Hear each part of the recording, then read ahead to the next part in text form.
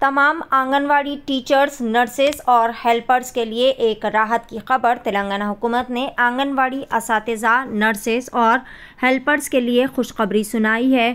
Retired ہونے والے تمام آنگنواڑی ٹیچرز کے لیے ریٹائرمنٹ کے فوائد میں دو لاکھ روپے کا اعلان کیا گیا ہے۔ وزیر سیتا اکا نے جبلی ہلز اسمبلی حلقے کے تحت رحمت نگر ڈویژن میں منعقدہ اما ماتا آنگن واڑی باٹا پروگرام میں اس بات کا اعلان کیا۔ انکشاف کیا گیا ہے کہ وہ آنگن واڑی عملے سے اپنا کیا گیا وعدہ ضرور پورا کریں گے۔ پیش اس خصوص میں مکمل تفصیلات۔ ڈی ٹی وی نائن کے ساتھ۔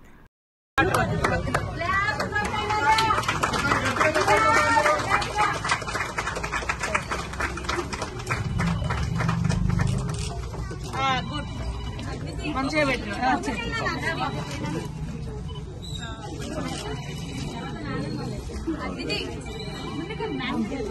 అమ్మలో ఆయన చూసుకోవాలి. అమ్మ అమ్మతనాన్ని టీచర్లు అంగన్వాడీ టీచర్లు చూసుకోవాలి.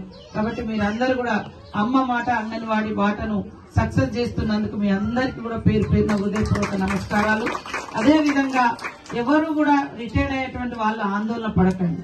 ఆల్రెడీ జీవో వస్తుంది. కొంతమంది కావాలని దాన్ని ఏదో ఇబ్బంది చేస్తున్నారు గతంలో యాభై వేలు ఇచ్చింది కావచ్చు కానీ ఇప్పుడు మేము వచ్చిన జీవో కాదు.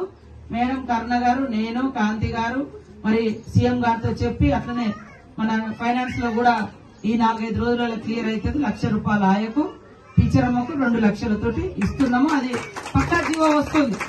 కొంత ఇప్పుడు ఏంటంటే రుణమాఫీ అటు ఇటు ఉండి కొద్దిగా డిలే అవుతుంది తప్ప తప్పకుండా మాట ఇచ్చిన మాట నిలబెట్టుకుంటాం. మీరు అందరూ బాగా పనిచేయాలని మనస్ఫూర్తిగా